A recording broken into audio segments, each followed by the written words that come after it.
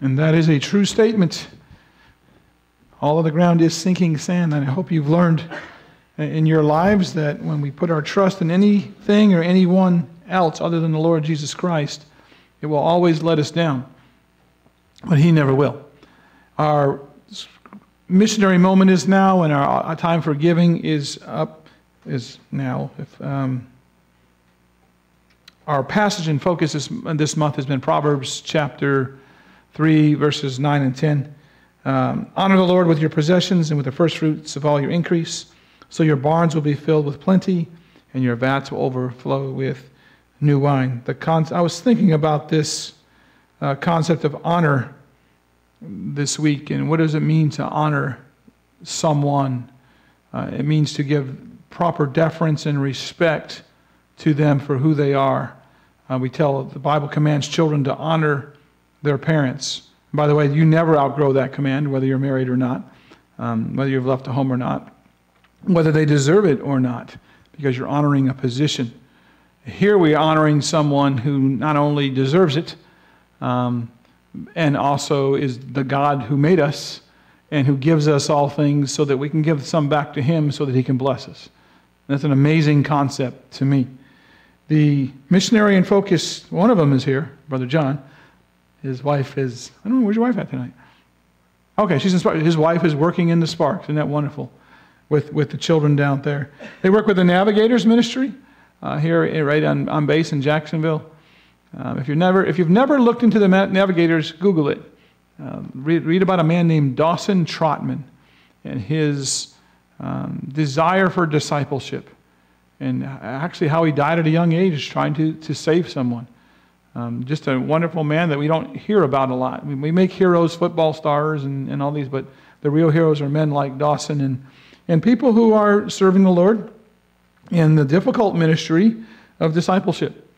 Um, and God has blessed, uh, and I've had many lunches with Brother John and, and discussions. I'm, I'm, just glad we're able to partner together and to um, be a part of your ministry, brother.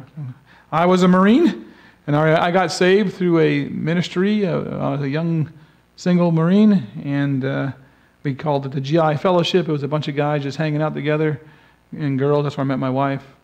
Um, but there's a huge need for um, not only the fellowship aspect, but the growth, growing aspect of, of, um, of discipleship amongst the military. So I'm thankful for what you do, and we want to pray for you. And if you haven't, if you want to read more about it, if you walk outside the board right here, but you're, you are our missionary in focus this month. Your family is. So you can read about our world famous DJ right here because he, did, he does podcasts and other things you can read about. Just trying to whet your appetite. I'm not going to tell you all, just go look at it. But God, is, God has a, a very world famous DJ in our own midst here. So, Lord, thank you for the Martin family and their service to your kingdom. Thank you, Lord, that we can come alongside and help them in that ministry. Lord, we thank you for the privilege of giving. And Lord, not just our, our, our, finances that you've given us, but of our time and our talents so that we can further the kingdom of God. We ask you we continue to bless and encourage them in their service and help us to serve you well. And Lord, we, we ask as you open our eyes as we look at your word tonight so that we can understand the truths, so that we can live them and glorify you uh, better. And we ask this in your name. Amen. Revelation chapter 3. We are in church 6 out of 7 as we work our way through the book of Revelation. Just to give you a quick outline of Revelation, in chapter 1, uh, John sees a vision of the glorified Lord, and an angel comes to him and says, I want you to write letters to seven churches. And in chapters 2 and 3, we're introduced to these seven churches. We're on the sixth of them. When we get to chapter 4, we're going to move from earth to heaven. And we're going to see the, the Father in heaven. And he's going to be praised because he's the creator. In chapter 5, we're going to see the Son in heaven. And he's going to be praised because he's the Redeemer. And he's going to be given a scroll. And in that scroll, there's seven seals. And those, as he begins to open up the seals, we're going to see various judgments happen. And you're going to have seal judgments, bowl judgments, and trumpet judgments. From chapter 6 to chapter 19, we're going to have uh, basically all hell on earth is going to begin to develop. It's going to be a mess, but it's a plan. God's got a plan, and, we'll, and we go through that. We'll walk. You'll notice from the time we finish uh, next week talking about the church at Laodicea that the church will not again be mentioned until we get to the end of the book. The church, right now, we're in the church age. And as we look at each of these seven churches, they were real, literal churches. They really existed. They really had these problems. And they represent the types of churches and Christians throughout the church age. I pray that we are more like the church of Philadelphia than some of these other churches, like Thyatira and Pergamum. That's the goal. And I'm hoping as we've gone through this, you say, boy, there's a good thing to focus in on, and here's something we got to be careful of, like losing our first love, but doing all the right things. Um, but just wanted you to kind of give you a big outline as, as we work through it. And today we're going to look at a church, and I put this in your notes, um, that is just doing well. It's very rare when God comes in and does an assessment and you get, a, you get A's on everything. Now, they weren't perfect. There aren't any perfect people, so there aren't any perfect churches. But when God assessed them, He said, You guys are doing it the right way. Chuck Swindoll said, and this is in your notes in the first paragraph the size of the congregation, the limitations of its location, or the restrictions of its budget should never determine its vision. Instead, churches should set their vision based on the power of God. God is infinite, magnificent, awesome, and mighty, beyond description or comprehension. When He chooses to open opportunities, the possibilities are endless. All we need to do is trust and follow Him wherever He leads. There are no small churches in God's eyes. God can, and we're going to see this. This church in Philadelphia is small in number but they're mighty in power. So don't ever say, well, we're small or we're just in Jacksonville or we're just, we're nobodies because we, you know, that's not how God works. In fact, God often uses the insignificant to bring glory so that he gets the glory. Read 1 Corinthians chapter 1. Very clear on that. Not many wise, not many mighty, not many noble are called, but God chooses the foolish things of this world to confound the wise. So, of all the churches that we've run into, this is the first church that I actually knew the name of and what it meant Philadelphia. We have that city in our country, the city of brotherly love. I remember the first time I went there for a chess tournament. Saw uh, a mugging, almost got knifed. There's a lot of brotherly love that was shown. Now, I'm not picking on that city because all cities, because they have a lot of people in them, not everyone in there is going to be godly. And as we see this city, uh, we're going to learn some things about them. By the way, that's what God wants us to be have love one towards another as brothers and sisters. And look at our backgrounds. We've got people here from the north and the south. We've got people here whose football teams are mortal enemies. We've got a Washington Redskins, I'm not going to call them the football team, uh, fan back there in the booth, and we've got a Philadelphia Eagles fan right there and a New York Giants fan right here. Anybody going to claim Dallas? Get the whole NFC East? Okay. Okay, got the whole NFC East in here, and we all coexist in, in the same room. And we can probably go other sports, other likes and dislikes. We had Auburn and Alabama working together back in the, the, the sound booth. Now that's like a miracle. There, were no, there was no blood, no foul. How does that happen amongst Christians? Because God is our unifying force. He's the one who does it. And so, what I'd like to do is starting in verse 7, just read down to verse 13. And let's be encouraged tonight. Rather than just, I don't know about you, but some of these messages, I, I walk away like, God, leave me alone. It's like messing with me again. But here's an encouraging message. And we need these every once in a while, too. And to the angel of the church in Philadelphia, write These things says he who is holy, he who is true, he who has the key of David, he who opens and no one shuts, and shuts and no one opens. I know your works. See, I have set before you an open door, and no one can shut it. For you have a little strength, have kept my word, and have not denied my name. Indeed, I will make those of the synagogue of Satan who say they are Jews and are not, but lie. Indeed, I will make them come and worship before your feet, and to know that I have loved you because you have kept my command to persevere. I also will keep you from the hour of trial which shall come upon the whole world to test those who dwell on the earth. Behold, I am coming quickly. Hold fast what you have, that no one may take your crown. He who overcomes, I will make him a pillar in the temple of my God, and he shall go out no more. I will write on him the name of my God and the name of the city of my God, the New Jerusalem, which comes down out of heaven from my God. And I will write on him my new name. He who has an ear, let him hear what the Spirit says to the churches. As we've been doing in all of these, I want to say, I want to start with who the author is, who the Christ of the Church of Philadelphia is. Because he, in each of the churches, he represents himself by different names. It's interesting, he never says, I'm Jesus and I'm writing to the church. Now, in chapter one, we, got, we were introduced to him, but every time he writes a church, he gives a description of himself. And there's a fourfold description here, and each of these description has, descriptions has to do with Jesus' character. And this is an Old Testament uh, focus. Uh, in the first five churches that we looked at, the description went back to chapter one and pulled out some aspect of that, of that glorified Jesus that we spent time on looking at. Here is a little different. He starts out by saying, He who is holy. Obviously, that's God. He's the only one who has absolute holiness. The Old Testament repeatedly calls God the Holy One. 2 Kings 19:22, Job 6:10, Psalm 71:22, and other verses. Isaiah says, "Holy, holy, holy is the Lord of hosts. The whole earth is full of his glory."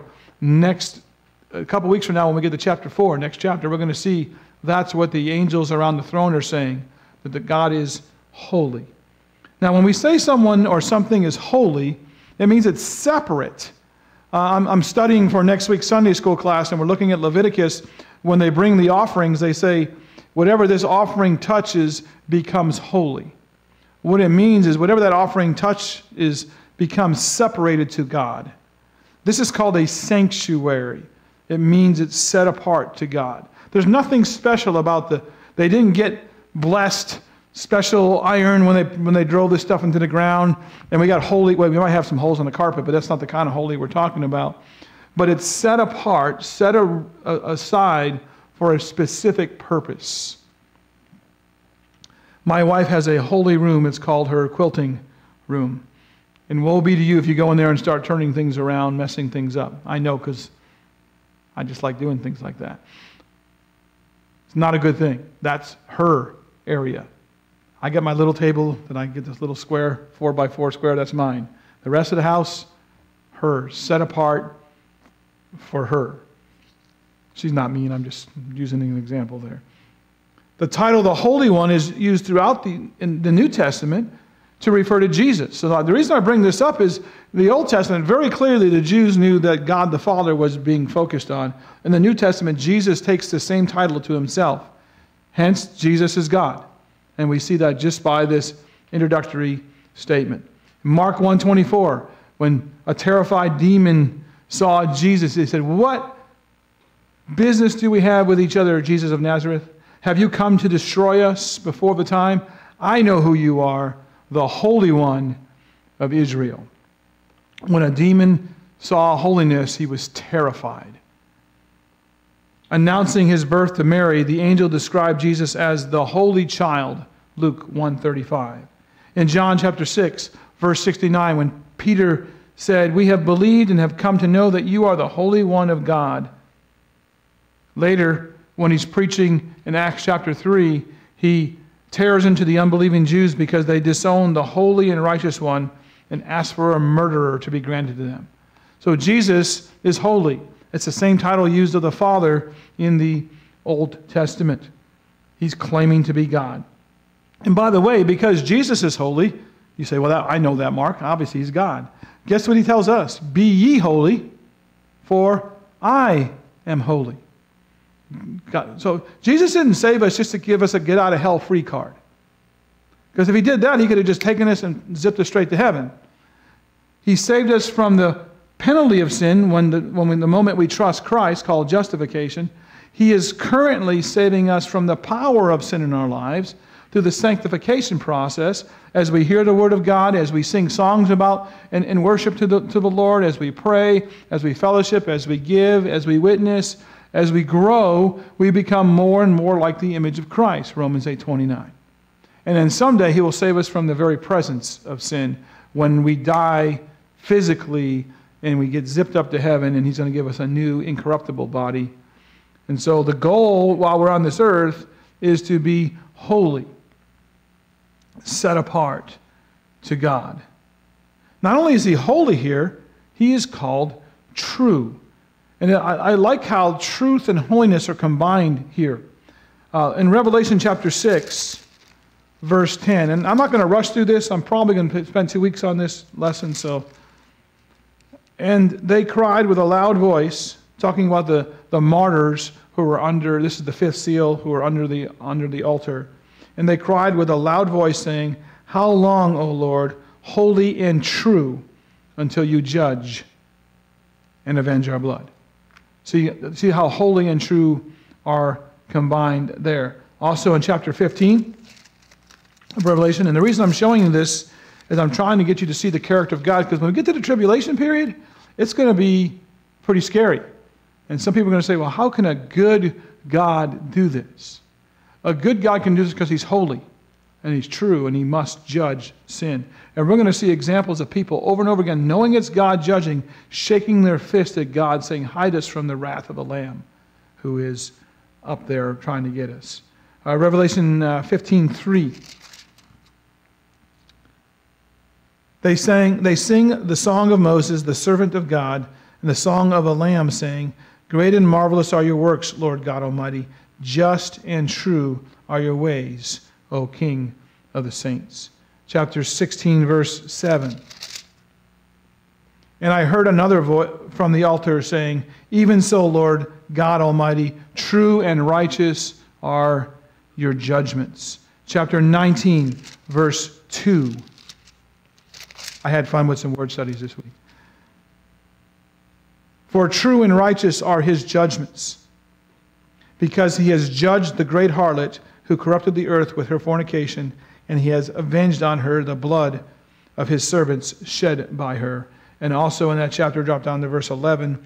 Now I saw heaven open, and behold, a white horse, and he who sat on him was called faithful and true, and in righteousness or holiness he judges and makes war. Big idea from this. He's holy and he's true. And what does it mean to be holy and true? He's what you see is what you get.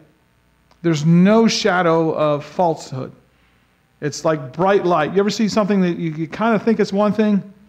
Like um, when I was stationed in the desert and we were driving down the road and you see these mirages and you think something's there and it's not. That's not Jesus. He's true. What you see is what you get. He's authentic. He is who he says he is. The word means genuine, authentic, and real. And when we're going to deal in the rest of this book, we're going to see that which is the exact opposite. What he judges is not real, it's fake, it's hypocritical, it's self righteous, it's unholy. And I'm glad that we have a God who is holy and true and understands who we really are. The third thing we see here is he has the key of David. There's another, um, well, look at Revelation 5 5. I'm going to give you a couple spots here to show. This is a re- reference to Jesus' office as the Messiah. Messiah is an Old Testament term. Uh, the New Testament word is Christ. Jesus Christ, Jesus Messiah. Christ is not his name, it's his title. It'd be like the John musician or John Marine. So it's a, it's a title. Jesus Messiah, Jesus the one who will redeem his people. Chapter 5, verse 5. But one of the elders said, Do not weep. Behold, the lion of the tribe of Judah, the root of David, has prevailed to open the scrolls and to loose the seven seals. Notice the reference back to David. Um, also in chapter 22, all the way to the last chapter of this book, verse 16 I, Jesus, have sent my angel to testify to you these things in the churches. I am the root and offspring of David, the bright and morning star. You say, Mark, why is that important? Way back in the Old Testament, let's go back to Genesis. God makes a, uh, a covenant, an unconditional covenant with a man named Abraham, and, sa- and says this From you, Abraham, I will bless all the nations of the earth. Look at the stars, look at the sand. You, you can't even count them. Now, this is interesting because Abraham was old and childless, and yet God kept his word.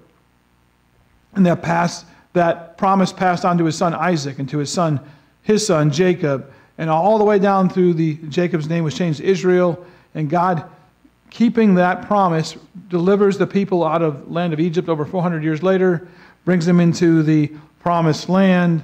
They have several judges, and that doesn't work very well. They, they rebel and they say, We want a king, so he gives them King Saul. That doesn't work very well. He raises up a man after his own heart named David. And from David in 2 Samuel 7, uh, he gives David a promise. It's called the Davidic covenant that from David's line, the line of Judah, the Messiah would be born. And when you get to the New Testament, you look at Matthew's gospel, you look at Luke's gospel, Matthew 1, Luke 3, and you follow those genealogies, you're going to see through the line of Joseph and through the line of Mary, they both trace back to David. Why is that important? If Jesus was not born from the line of David, he could not be the Messiah. He could not be the one who kept that prophecy. And by the way, you say, well, Jesus controlled all his stuff when he was on earth, so he just manipulated things. You can't control where you're born, what your lineage is, what cities your parents go from and to before you're born, unless you're God. And he was able to do that. So when he says he has the key of David, uh, key in Scripture represents authority. If I have the key, I can walk in and, and, into my house. I have the key to my house, I can get in. If you don't have the key to my house, you're intruding if you try to come in. He has the authority, uh, he has the control to do that. Just wanted you to see. What does he have the keys to, by the way? Go back to chapter 1, verse 18. We're going to do a little bit of Bible drill today. Chapter 1, verse 18. I am he who lives and was dead, and behold, I'm alive forevermore. Amen. And I have the keys of Hades and death. You know what he's saying? I was dead, I'm alive, I'm living forever, and I've just proved that I've conquered. I have authority over death and the grave. I've got it. This is the Jesus who's talking to this church. The fourth way he identifies himself He who opens and no one shuts, and shuts and no one opens. If you're holy and true and you have keys, but you don't have any power, what good is it? Someone could overpower you. So here's a picture of his, uh, his power, his omnipotence. It's a fancy word for all powerful. If he opens the door, ain't nobody closing it. If he closes the door, bad English, ain't nobody opening it. But that's the truth. All the way through Scripture, you see this, especially in the book of Job. Um, where were you when I did this? And when I built these stars and I did this? Who can stop God from doing what he's going to do? And the, no one can. And so we have a God who is holy, who is true, has authority, and has power. And that's how he introduces himself to this church. Now, I'd be a little scared if somebody opened up with an introduction because we've seen how he's introduced himself to all the other churches. Pretty similar, right? I'd be like, oh, what's going to happen now? What'd we do? Let's look at this church at Philadelphia, verse 7 there. We don't know much about it. It's not mentioned in Scripture other than in this spot right here. When Paul was on his missionary journeys in Acts 19, when he spent a couple years in Ephesus, it says that the gospel went out from there, and we know that it did. Um, and and, and if, if do you have that map again, brother? Outstanding, Mark. I bet you can't do that. No, just let it go. We'll, we'll get it later. It's not worth. Not we're on we're on the, on the line here. So, do you have the map of the of the uh, seven cities? Thanks. So when he's in Ephesus for three years, the gospel goes out all the way through Asia. And if you'll notice where Philadelphia is, goes up Smyrna, Pergamum, Thyatira, Sardis. It's about 30 miles from Sardis. It's an inland route. It's up on top of a hill. It's like an 800 foot overlook looking down right there. It's a well designed, well built area for protection. Thank you. That's the Hermus Valley. Um, it's the youngest of these seven cities, founded somewhere around 189 BC by either King Eumenes of Pergamum or his brother Attalus. They liked each other, and so it was called Brother Lover. That's the, the city. So it was based on two brothers that liked each other. When one finished, the other one took over his spot. That's, that's how much, um, that, I mean, it, it must have been a pretty impressive love to name after your brother. It was considered the gateway to the east. One of the problems, though, if you ever lived in California, you know this problem earthquakes. Don't matter what you build your city on, how high it is, if an earthquake comes, guess what happens to your city? It collapses. And this underwent several various earthquakes over time. In the year 17 uh, AD, an earthquake, oh, I wasn't looking for, thank you, brother. An earthquake hit Philadelphia and leveled it. And it also hit Sardis and 10 other cities nearby. The emperor, uh, Caesar Tiberius, gave the cities money to rebuild, and so Philadelphia was very happy about that, and they uh, changed their name to Neo Caesarea for uh, several years. New Caesar. And then they changed it again based on the new emperor. You know, I mean, if you want to stay in if you want to stay uh, happy with the emperor, just keep changing your name. Though somebody will like you. Politicians like it when their name's involved somehow, and so they changed it again, and to the name Flavia after, after Emperor Flavius. And so, for the second and third centuries, this church continued. This church is going to last a little bit longer than the other cities. We, we have its history a little bit longer, and I think it's because they had such a solid testimony. In verses 8 to 11, we're going to see four realities that characterize the congregation. Verse 8 I know your works. See, I have set before you an open door and no one can shut it. Remember, he said, I'm the one who can open and not shut it? So he says, I, this, I know it. It's open. And here's why you have a little strength, a little power. Now, when you use the word little, you're like, oh, you only got a little bit, so you're not very strong. What he's saying here is not a negative comment, it's a positive comment. They're very small in number and they have an impact way beyond their numbers. I think the opposite is true of churches in America. Millions of people call themselves Christians, but we have very little influence on society. Here's a little group of believers who had a big impact. Reminds me of Paul's statement in 2 Corinthians 12. I am well content with weaknesses, insults, distresses, persecutions, difficulties for Christ's sake. For when I'm weak, then I'm strong. Because they were small, because they were uh, small in numbers and had little physical power, they had to rely upon the power of God in order to succeed. Secondly, we see that they were obedient. You have kept my word. Now, that's a really simple statement. Uh, one of the things I'm doing this year for an exercise is I'm actually writing out the book of Revelation. If you've never done that before, if you haven't handwritten in a while, you're not writing it all out at once. I'll tell you that. I do six or seven verses at a time. But I remember when I was going through this, it just kind of made me stop. They kept my word. That's a really strong statement. You're obedient. You love me enough to keep my word. Isn't that what Jesus said? If you love me, do what? Keep my commandments. They're demonstrating their love because they're obedient. Isn't that what we always want for our children? They say, I love you, Mom, I love you, Dad, but I'm not going to clean my room. Oh, and they don't say that, but they don't do what you ask them to do. And then we, I have my grandkids stay with me all week. And it's quite an interesting uh, change for them. But they, my youngest, Mia, three years old and is cute and knows it, tries to do the I'm cute and I'm not going to obey thing. And like, I love you, Pops. No, you don't. You're not obeying me. Do what I say that's kind of the, the mindset here. God said, you know what? You are obedient. We need to be like Martin Luther when he was on trial, who said, My conscience is captive to the Word of God. What do we get our philosophy of life from?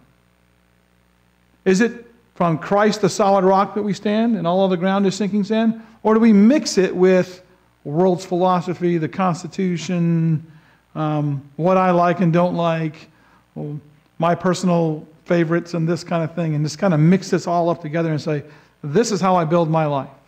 Golden Corral theology. Or is it totally based on what God says? They had a pattern of obedience, and I think we need to have the same thing. Third, they were commended for not having denied his name, although they were pressured to do so. Remember, they live in a, a town that named itself after the, the emperor.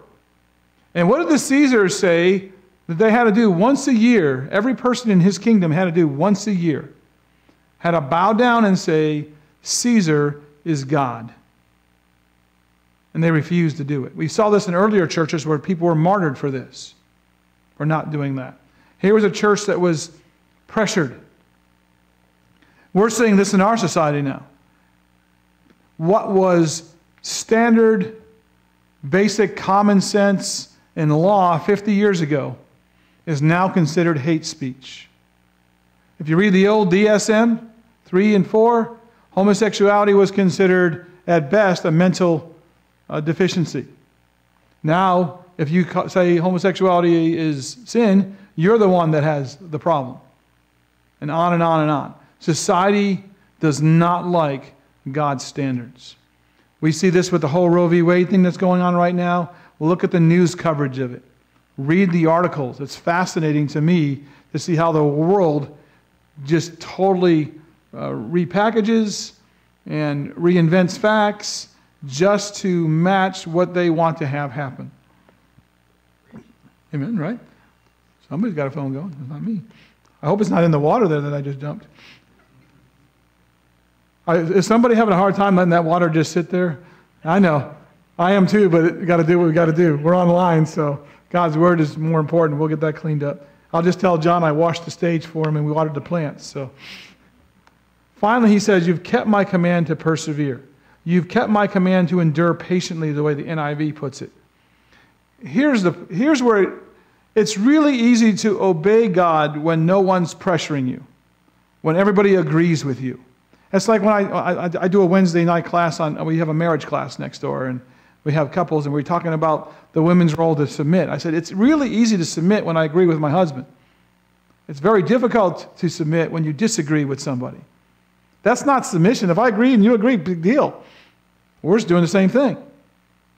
If I have a boss that I, that I disagree with, but I'm supposed to submit to, that, that's challenging. They are being pressured from without, saying, Y'all need to change your views. And they submit to God's word instead and say, No, we're in the minority. We're, we know that it's not popular, but we're going to do what God says. God's word is and views are never going to be in the minority, excuse me, in the majority in this society. Never. Until he comes and rules and reigns, at least on the outside, people will obey. But we're going to see this at the end of the millennial reign in, in Revelation 20. When the devil is bound for a thousand years and he's let loose for a little season, then millions will come and follow the devil. Even though Jesus is ruling with a rod of iron. And why is that? Because it's a heart problem. People do not want to obey God who don't believe God.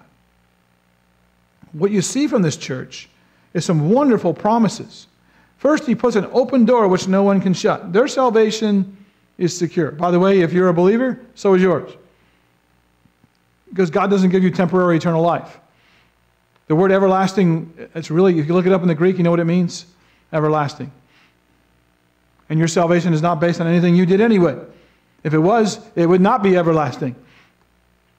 Because we met, if you read the Bible from Genesis chapter 3 to the end, one thing you're going to find out is that man can sin in any situation, any, any spot, and I use mankind in general, we can jack it up.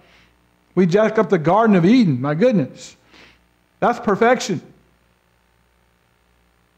We jacked it up when we're going by our own conscience, when we had, when we had God's law, when we had a monarchy, when we had people just doing what they wanted to do. We met, we're messing it up on the grace. We're going to mess it up under Jesus himself ruling on the, on the planet for a thousand years. because the problem is always a heart problem. Jesus says, You know what? I'm going to open this door and no one can shut it. You are in. And that's a big deal because when you're being persecuted, when you're going through all this, we've just got to see ourselves as passing through. We're here temporarily. This is not our home. We're sojourning, I think is what one translation uses. And we're TAD, if you want to use the military, or TDY if you want to use the, the Air Force semi military version of that. Sorry, my wife's going to get me for that one later.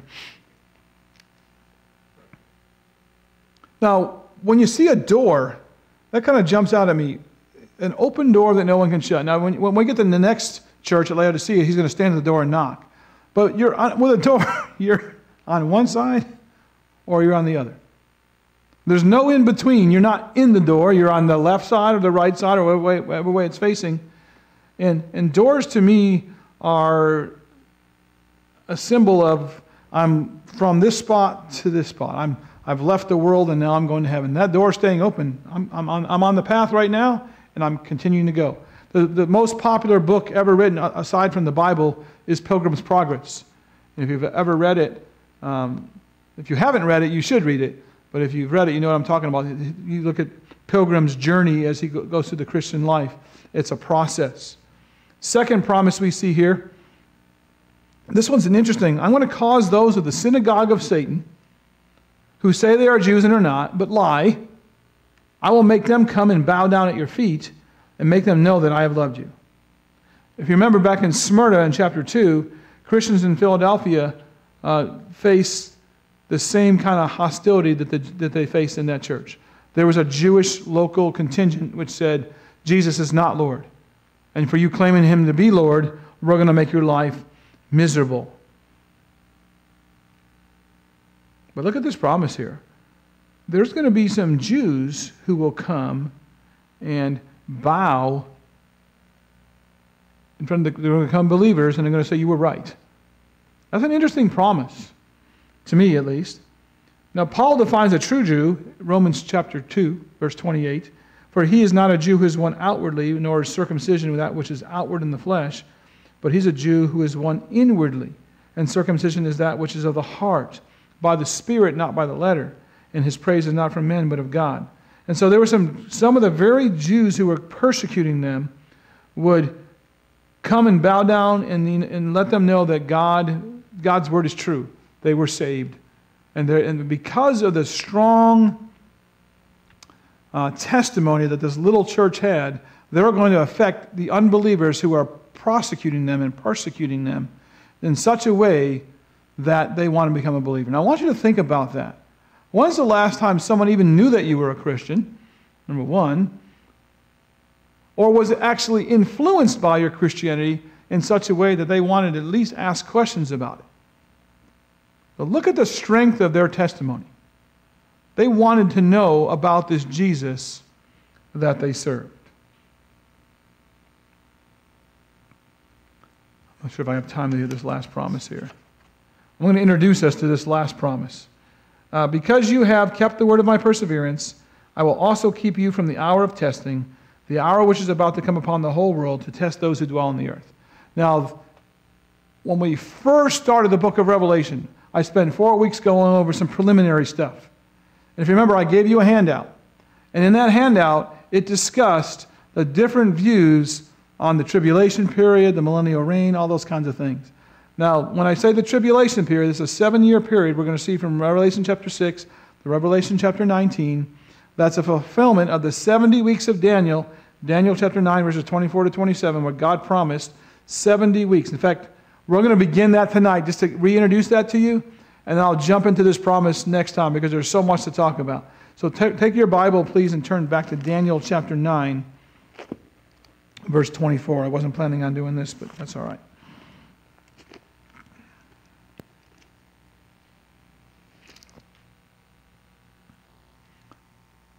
Now, this is all leading up to the fourth promise that God is going to protect the church of Philadelphia from.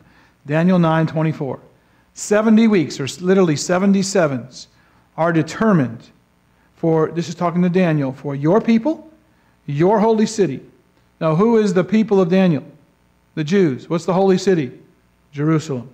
And here's the, what's going to happen when these 70 weeks are done to finish the transgression, to make an end of sins, to make reconciliation for iniquity, to bring in everlasting righteousness, to seal up vision and promise. That means to fulfill all the, the, the prophecies that God made, and to anoint the most holy. So when, when these 70 works are, weeks are done, God's done. Everything He said is going to come true. When we get to the end of Revelation, we're going to see all this stuff is done. Okay? Know therefore and understand that from the going forth of the command to restore and build Jerusalem until the Messiah the Prince shall be seven weeks and 62 weeks, or 69 weeks. I don't, I don't know why, I never figured out why he just didn't say 70 weeks, or 69, but he did. 69 weeks. So we know the date when the command was given by Cyrus to rebuild the walls of Jerusalem that were torn down 70 years earlier by the Babylonians. We know that date. We know the date that Jesus rode into Jerusalem on a donkey. And I know you're going to be shocked that 69 times 7, or 483 Jewish years, based on a 360 day calendar. To the day. It's exact. So my little brain says if the first 69 weeks were exactly seven years each, then what do you think the last one is going to be? Seven years. You may hear that called the tribulation. Uh, and then when we get to the tribulation, we're going to talk about it's broken into two halves. The first three and a half will be relative peace compared, and then the last three and a half is literally all hell on earth where everything just breaks down, okay? But that's where I get this from. After the 62 weeks, Messiah shall be cut off, but not for himself. He's going to be killed, okay? And the people, the prince who is to come, they shall destroy the city and the sanctuary. If you're familiar with history, 70 AD, what happens to the city of Jerusalem? It's destroyed. And then you just keep on reading. And when we get to later on in Revelation, I'm going to refer back to here and show you about the coming Antichrist and, and all the things that are going to be. But let me just show you, just I'm just going to skim over it, okay? Um, verse 27 Then he shall confirm a covenant with many for a week. This is talking about the uh, Antichrist. But in the middle of the week he shall bring an end uh, to sacrifice and offering, and on the wing of abomination shall be one who makes desolate, even until the consummation which is determined is poured out on the desolate. Now, that doesn't mean a whole lot until you, it's like looking at a negative of an old, of an old Polaroid. Until you get the real picture and you start matching the two, you'll see where it's all going to fit. Now, why do I bring this up? Some commentators try to say that the promise to the church at Philadelphia is that they are going to not suffer, period, physically. The problem is, Jesus just said, what were they doing? Suffering physically because they were being persecuted. And so if, if I look at that, we'll go back to Revelation chapter 3, verse 10, and I'm just going to introduce us and we'll finish it next time. Uh, I also will keep you from the hour of trial which shall come upon the whole world. So, big idea there. I will, that's future tense, correct? The test of future. It's for a definite limited time, the hour, so it's, it's a small period of time. Um, it's a trial or a test that will expose people for what they really are, the time of testing, okay? The test is worldwide in scope, it will come upon the whole world. And finally, most significantly, its purpose is to test those who dwell on the earth. Now, next week, I'm going to take you through several passages of Scripture in the book of Revelation and to show you that the people who dwell on the earth is a, is a euphemism for unsaved people. I'm going to show you six or seven examples of that in the book of Revelation. So, what he's saying here is, I'm going to keep you because you've already been tested and passed, from going through the trials, the tribulation, that I'm going to be bringing on these guys. And that is a great promise, not only to that church, but to all churches. And I'll, I'll expand that more next week. Father, thank you for your word and what you've taught us tonight. Thank you for the example of the church at Philadelphia and for the many men and women who are like that, uh, even here at Centerview. Help us to aspire to be like these men and women who, who live in a way that brings honor and glory to you. And we ask this in Jesus' name.